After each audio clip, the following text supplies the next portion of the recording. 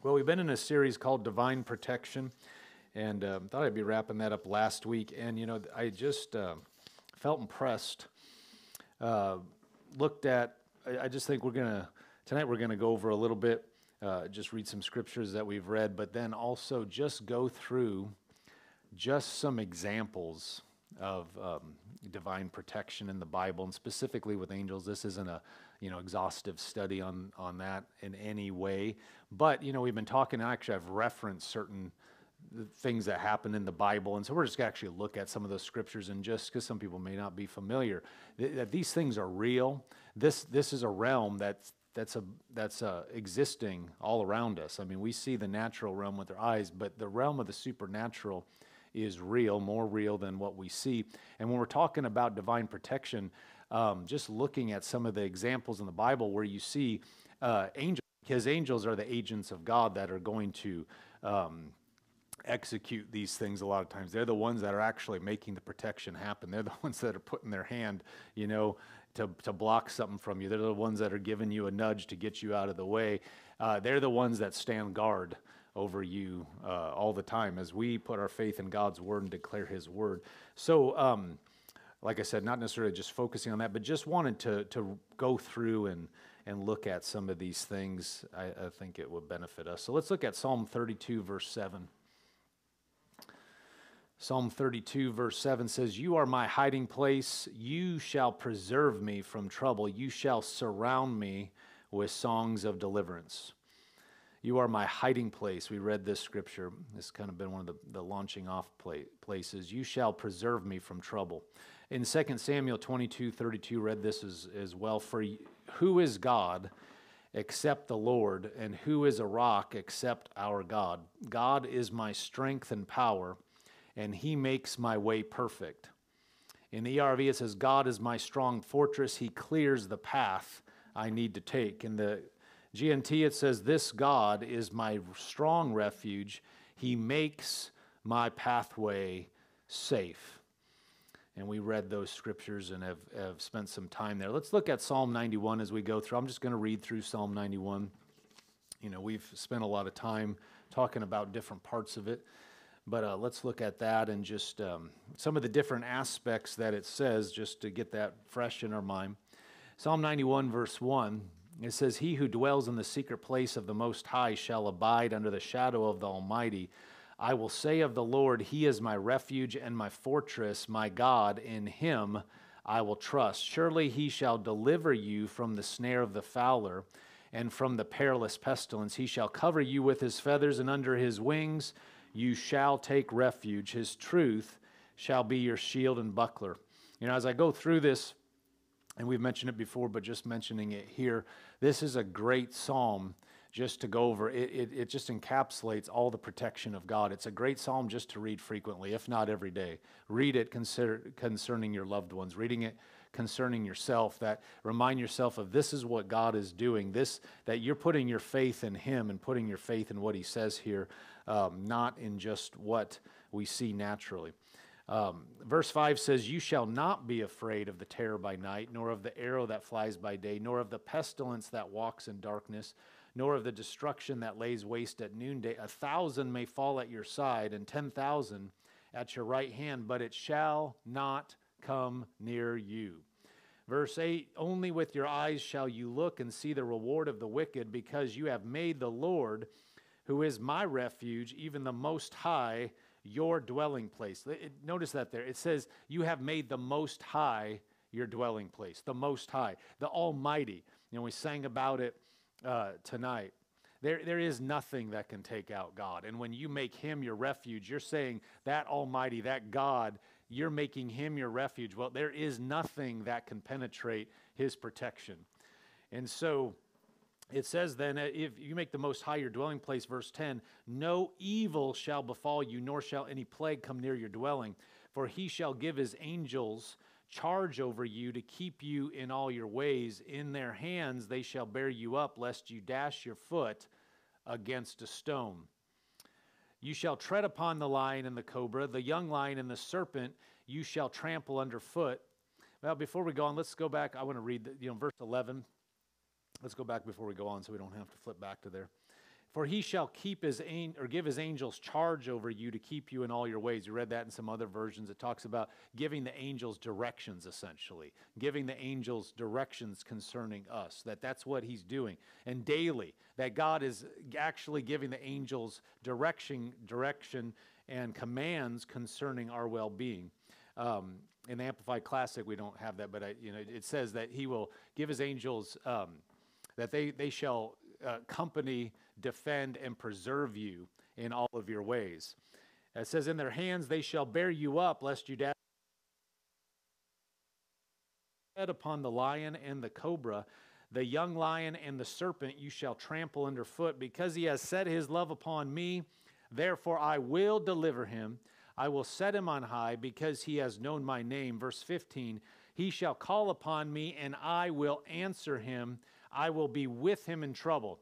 We talked about that last week. Just because we know God doesn't mean we're there's never going to be in trouble. It just means that God is going to deliver us out of every trouble. We face challenges in this earth. We live in a fallen world, but we have a God that is greater than any challenge. And so as the challenges come, we don't fold and say, I have, I've got a challenge, therefore God has deserted me, therefore I don't know what to do. We press in and say, God's greater, God's bigger. I will go through, I will go over. God says, I will be with him in trouble. I will deliver him and honor him. With long life, I will satisfy him and show him my salvation. He said, I will, I will, uh, I will satisfy him with long life. So we can believe for a long life. We can believe that we are going to live until we're good and satisfied. In other words, you can't be taken out early.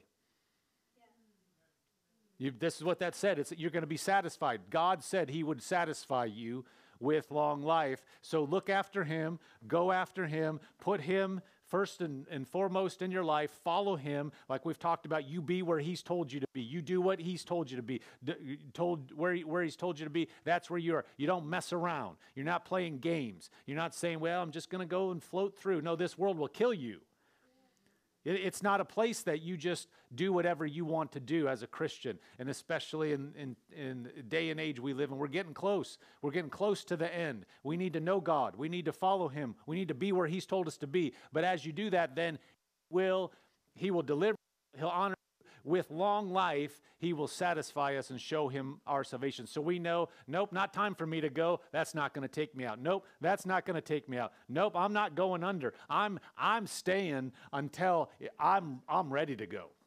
And I'm not leaving early until Jesus splits the clouds or uh, you know, I live out my life fully. I'm not going.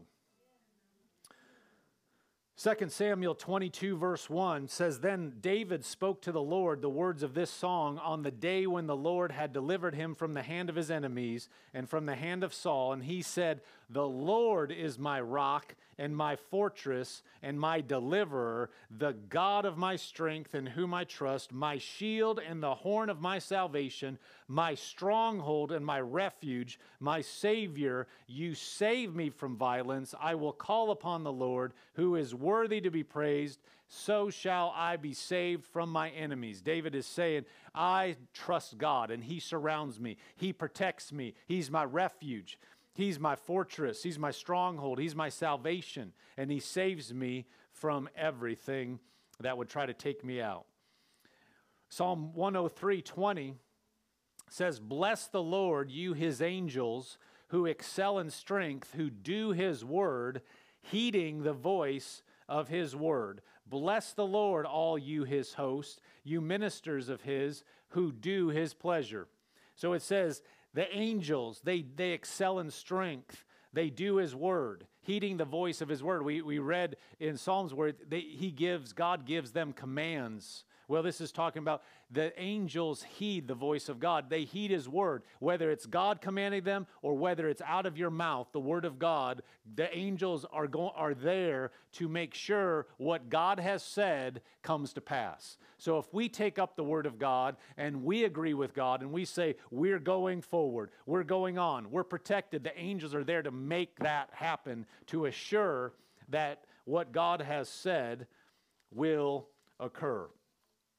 And so we're going to go through, if you have your Bibles, uh, you know, you can look, just follow along with us because we're going to do a good amount of reading.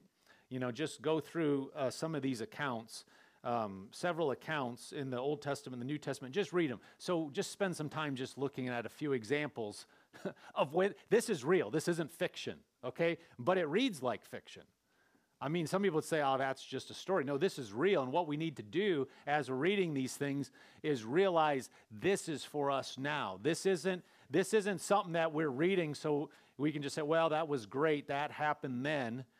But that just doesn't have anything with us. We read it and say, those angels, that power is on the earth now and it's for us now. So when it may look different in 2024, but the same power, the same God, the same angelic host, the same spiritual realm exists. And so we need to bring this in to our world and see it. And see that happening. Let's look at the first one. Uh, 2 Kings 19, verse 14. Now, for the sake of time, I'd go back you can go and read this whole uh, chapter and these whole accounts. They're really good and they have a lot of detail. But for the sake of time, since I'm, I'm covering a lot of these, I, I'm, I'm going to cut some of this down. And so the background here is the king of Assyria, uh, Sennacherib, he is, uh, he is threatening uh, the, the, the, Israel threatening them, coming, and he's making a mockery. He's coming, he, they have mowed down other nations, and they are saying, um, they're going to the people that uh, are higher up in, in the nation, and they're mocking them, and then they're talking to them in Hebrew, and the people say, Well, just talk to us you know, in the common tongue. Don't speak to us in Hebrew because the other people are going to hear you and they say, We want everybody to hear them. And basically, what they're saying is, Don't you listen to Hezekiah. Hezekiah is leading you, he, he is telling fool, and that is not going to happen. The king of Assyria is going to take you out just like he's taken everybody out. And you need to know that your ruler is leading you in the wrong way, and they are just trying to instill complete fear in, in the people. And so Hezekiah goes and um, he he is just they've just done this again. And so we're going to pick up in verse 14 2 kings 19 verse 14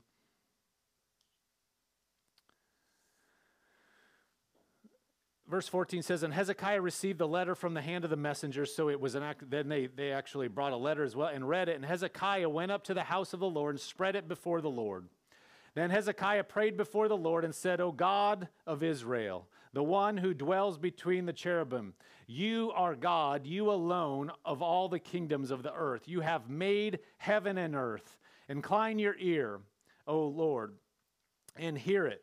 Open your eyes, O Lord, and see and hear the words of Sennacherib, which he has sent to reproach the living God. Truly, Lord, the kings of Assyria have laid waste the nations and their lands and have cast their gods into the fire, for they were not gods, but the works of men's hands, wood and stone. Therefore they destroyed them. Now, therefore, O Lord our God, I pray, save us from his hand, that all the kingdoms of the earth may know that you are the Lord God, you alone. So, this huge army, this, you know, uh, monster of a, of a nation is just taking nations out. There is no hope in the natural for the people pushed up against a wall and and Hezekiah is the, the king is just laying out and saying, God, show yourself strong. You've seen this person, he's mocking you. And show yourself strong so people know that you're God. And so the next verse, verse 20 says, Then Isaiah, the son of Amos, Uh, Amos sent to Hezekiah and said, Thus says the Lord. Now we're just going to read a portion of this. Thus says the Lord, God of Israel, because you have prayed to me against Sennacherib, king of Assyria, I have heard. This is the word which the Lord has spoken concerning him. So this is, we're just going to read the beginning of it, then pick up at the end because it's long. The virgin, the daughter of Zion, has despised you, laughed you to scorn. The daughter of Jerusalem has shaken her head behind your back. Whom have you reproached and blasphemed? Against whom have you raised your voice and lifted up your eyes on high? Against the Holy One of Israel. And then he goes on and speaks a bunch of things against Sennacherib. And then verse 32, they, he's talking about the king of Assyria here. He shall not come into this city. So this is Isaiah the prophet prophesying about what's going to happen before it happens.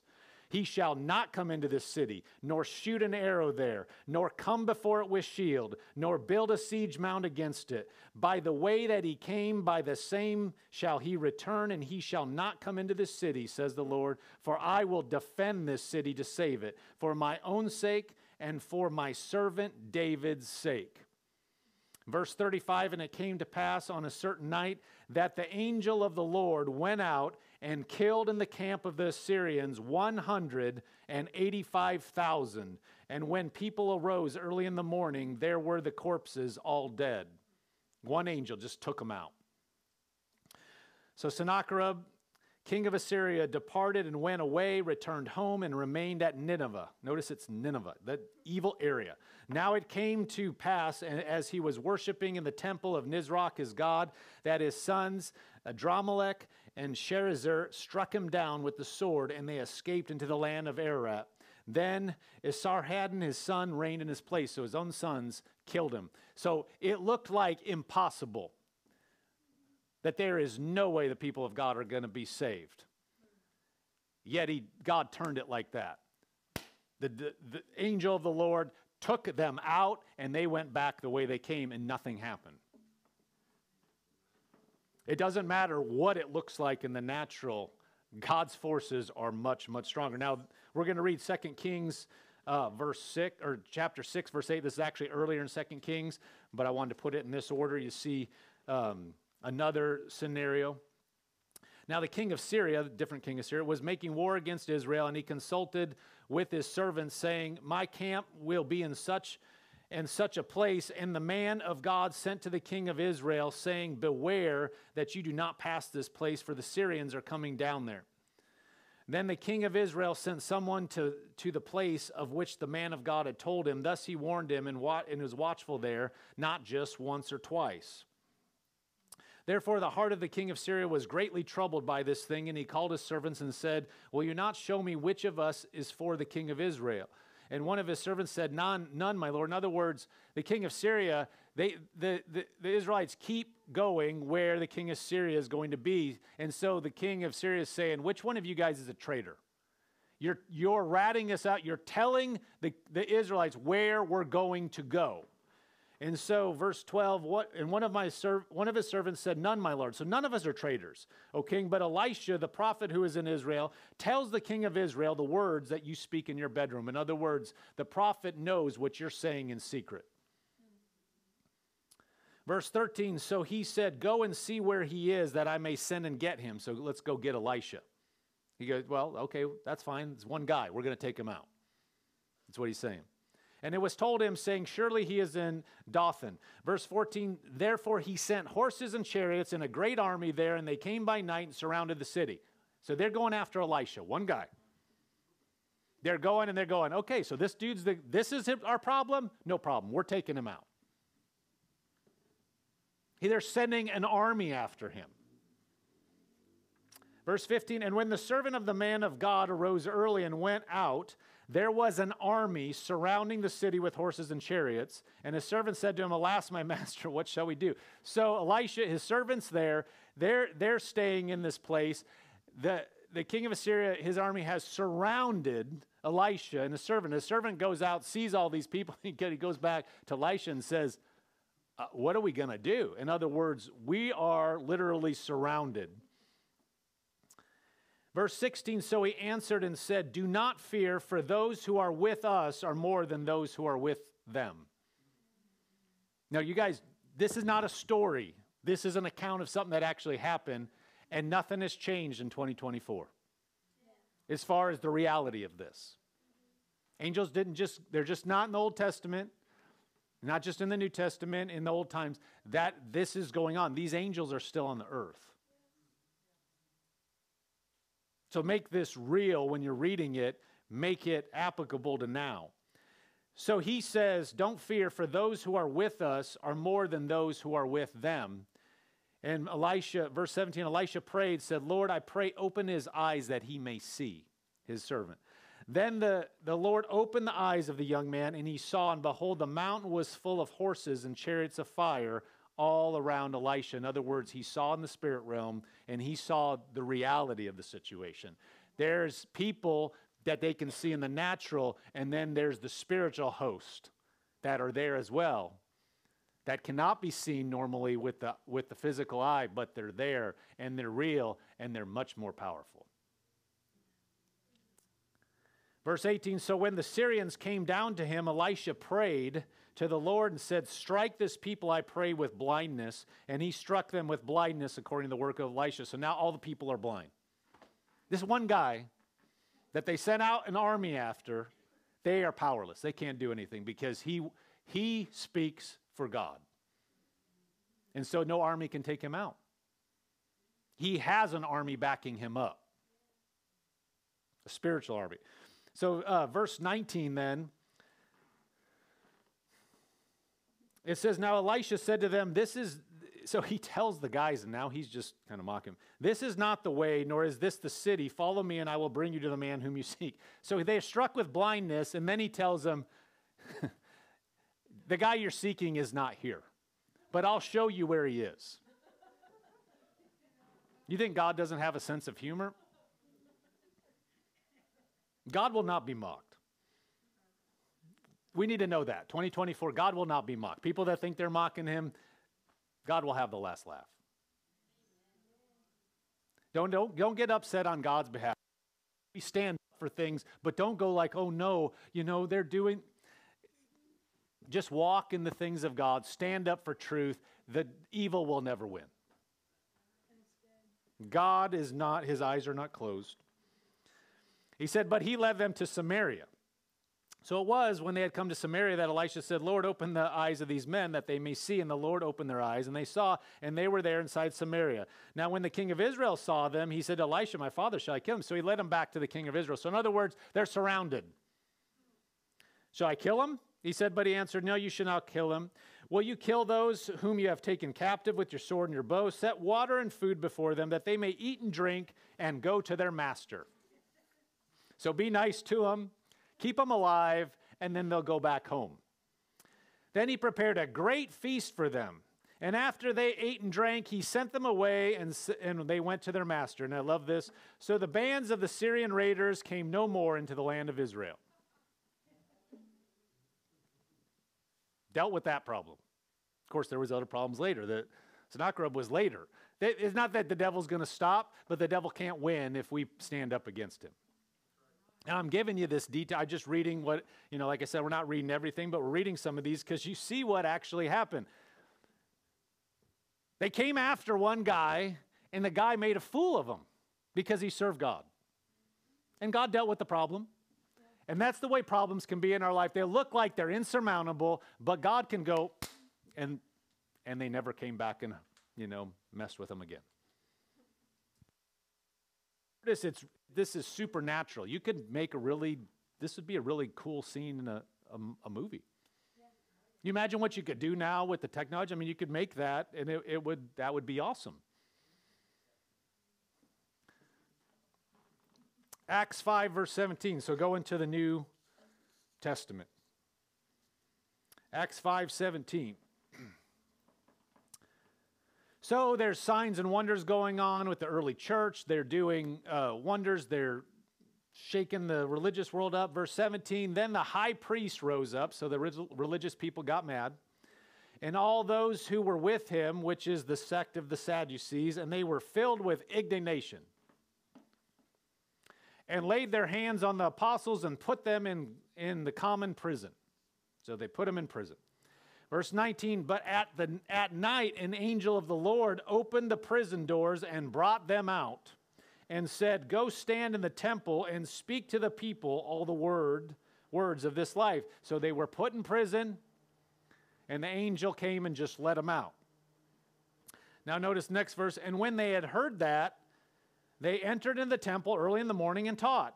But the high priest and uh, uh, high priest and those with him came and called the council together with all the elders of the children of Israel and sent to the prison to have them brought. So the guys put him in prison.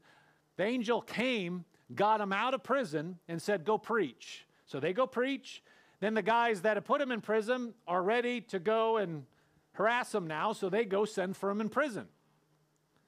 Verse 22 But when the officers came and did not find them in prison, they returned and reported, saying, Indeed, we found the prison door or the prison shut securely, and the guards standing outside before the doors, but when we opened them, we found no one inside. So not only did they get out of prison, the guards evidently didn't even know they were gone. So they supernaturally got them out of the prison. The angels got them out of prison, and these guys went and preached. And they, here the guards are outside watching. The doors are shut. Nobody inside. That's not fiction, that happened. God can do things that, that we can't do naturally. He got them out, the, got them out of there supernaturally, and this is available, if need be, to us now. This isn't something that we only see in you know some made up movie. This is real. The bible is actually really interesting and really good and has a lot of stuff just from just from a story perspective. There are so many things in it that are really intriguing and it's better than fiction.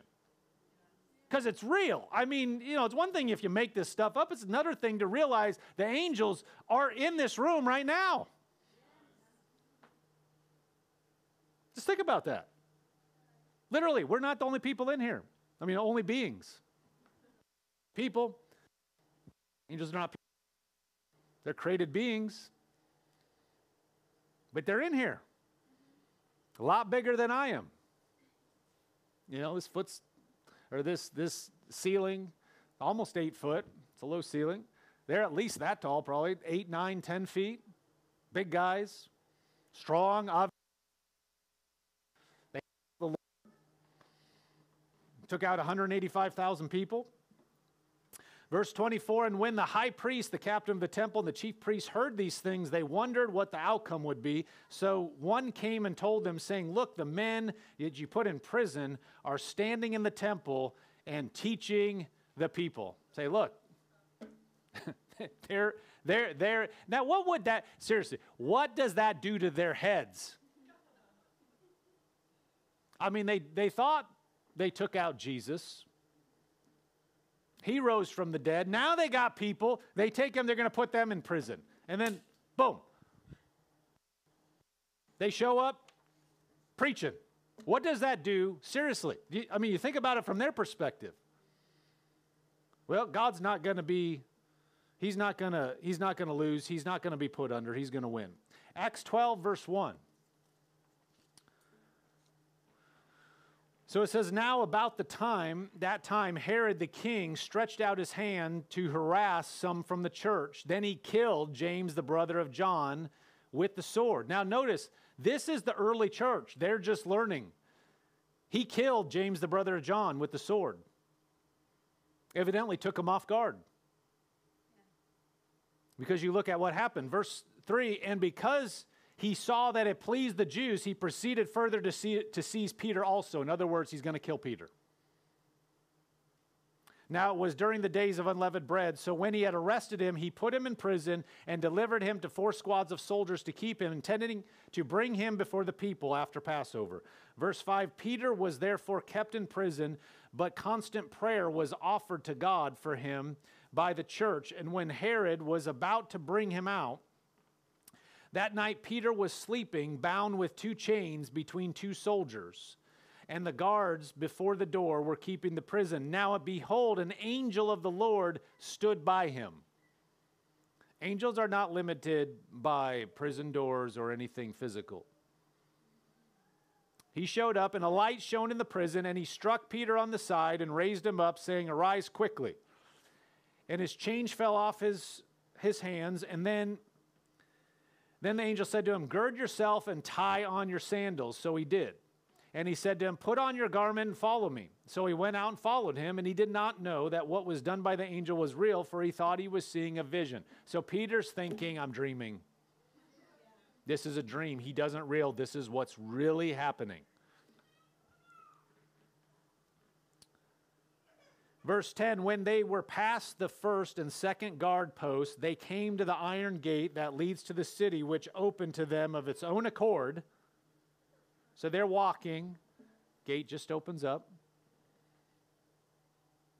Gates don't just open up by themselves.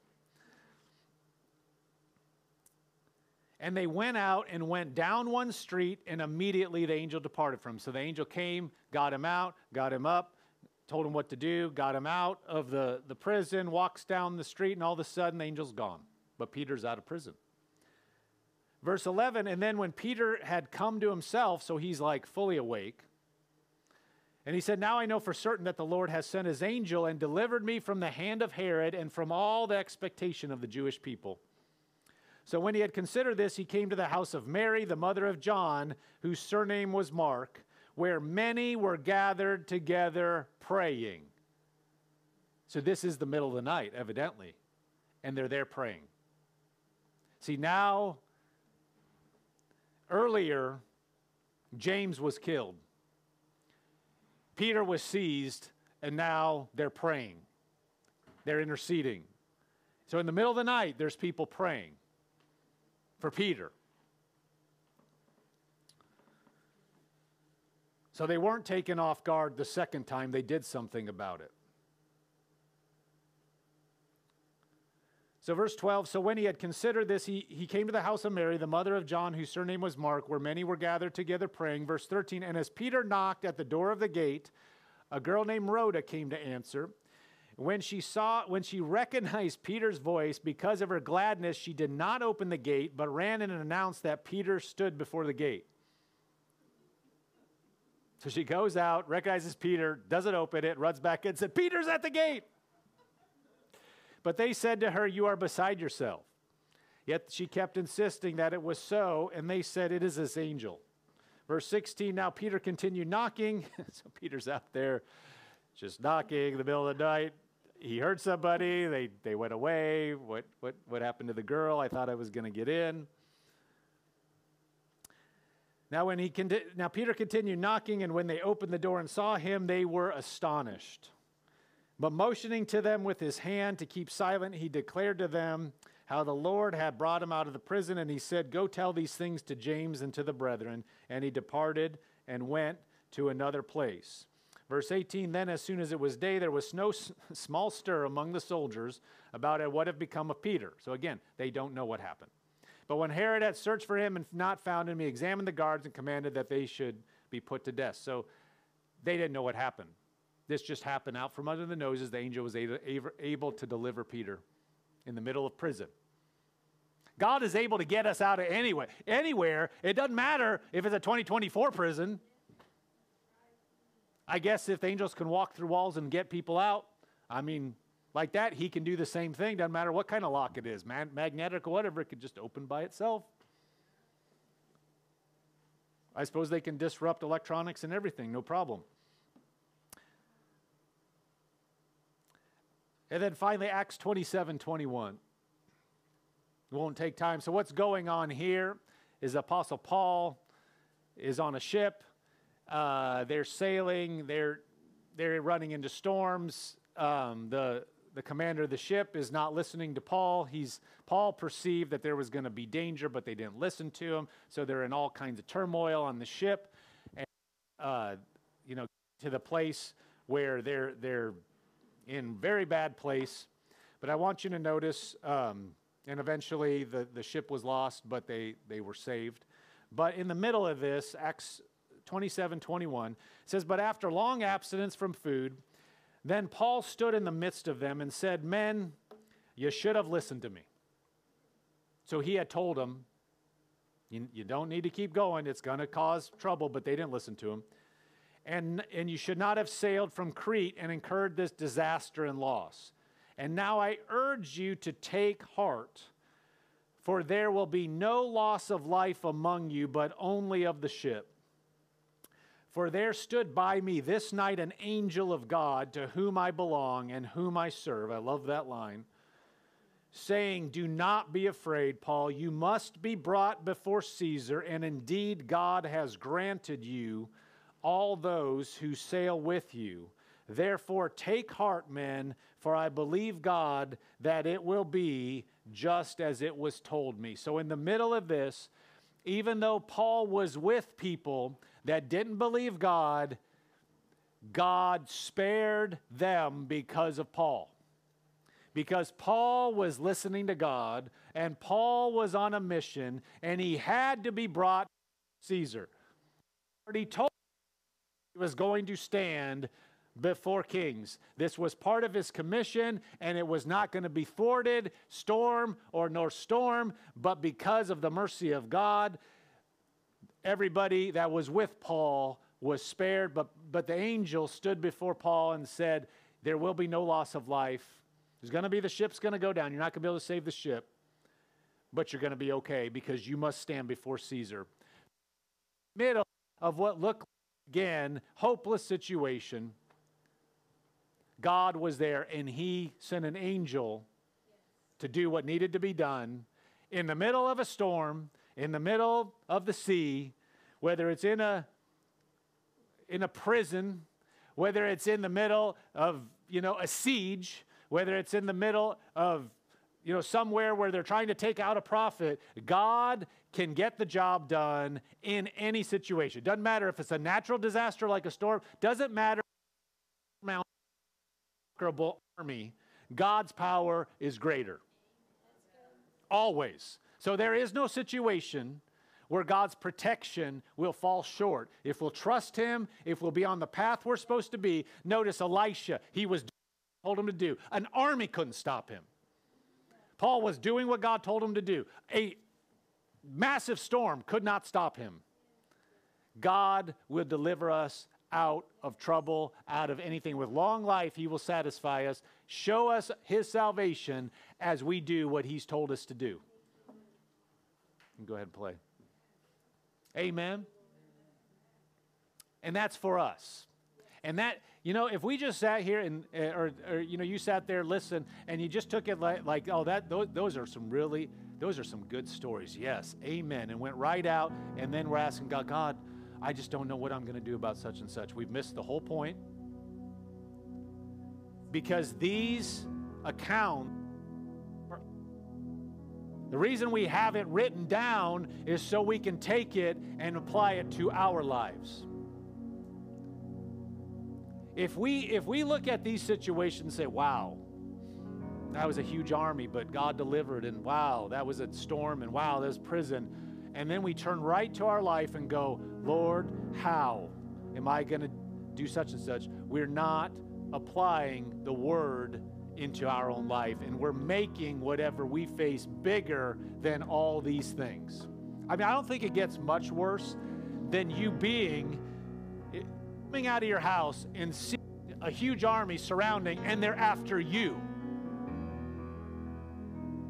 They're not after you and your army, they're after you. They have you surrounded. How do you get out of that without the supernatural help of God? But Elisha even he knew God.